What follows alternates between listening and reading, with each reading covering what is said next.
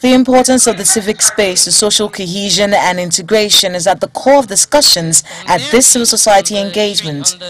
For many Nigerians, engaging with the government is a far-fetched concept. We want a civic space engagement that supports the intellectual component of governance and ensures that government policy formulation is done on the basis of evidence and not sentiments policies to stifle the civic space should not deter civil society organizations from doing their duty, according to Bishop Kukah. Rather than accusing some of us of, of rebellion, it is bad governance that is a rebellion because really, when people sought to be elected, it was to make a better life for our people.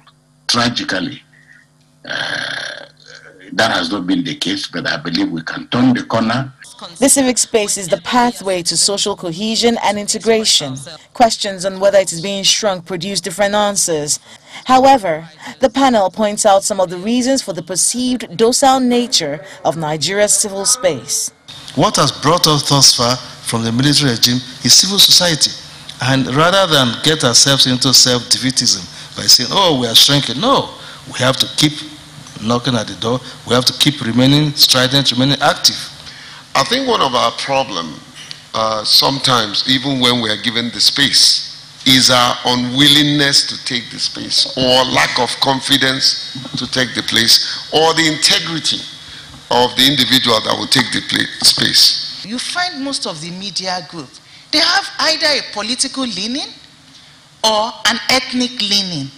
And this leaning is what they put across when they have their in their TV station, even by the kind of analysts that they bring into the country. The civic space is not a physical construct. It's given by nature and resides in man. And that's the reason why no matter how long an injustice lasts for, man will find his voice.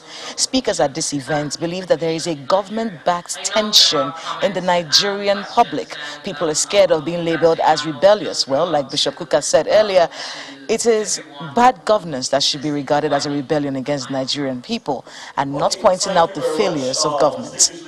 Kayla Magua, Channels Television News.